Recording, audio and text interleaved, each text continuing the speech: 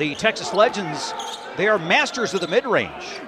They like the mid-range shot. They are very proficient. Off the glass, DJ Stewart. DJ Stewart have had plenty of support in Southaven, Mississippi on Saturday night. A three for Micah Potter. DJ Stewart will start the action on the right side. Dotted line jumper. Put back in by Micah Potter. Skyforce currently winning the rebounding battle. 16 on the shot clock. DJ Stewart says, we'll just take this one. DJ Stewart off the rub, baseline jumper. Gets the first points on the period board. Chalmers off the screen, he'll pull up. And Micah Potter able to get it back and put it in. Working back around, Chalmers, Smith, Potter's open for three, and he hits again. Pick and roll, then they'll work it to Potter again. He will try another three. He's feeling it. After timeout sequence working well for the Texas Legends. Free throw line jumper for Micah Potter for halftime. Break down this contest. Again, it's been in the Texas Legends' favor from the jump.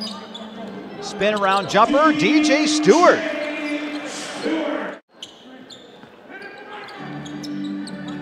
Stewart will look things over. It's Potter in the post. He'll work around Walker, put it over him, and score. So they'll work the action to Potter. Stewart, double team. He'll shoot over it and score. Eight to shoot as Potter will step back and he will fire and he will connect. Micah Potter now at 20.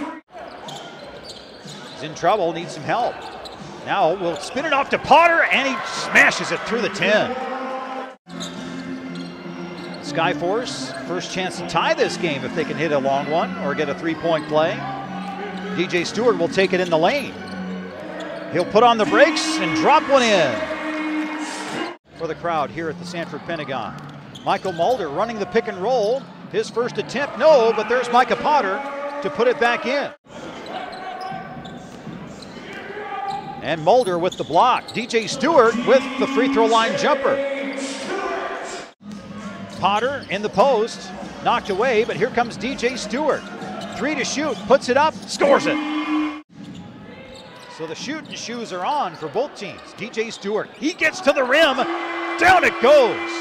DJ Stewart asks for the pick on the left side, works his way free throw line, double team, and does the job. DJ Damage.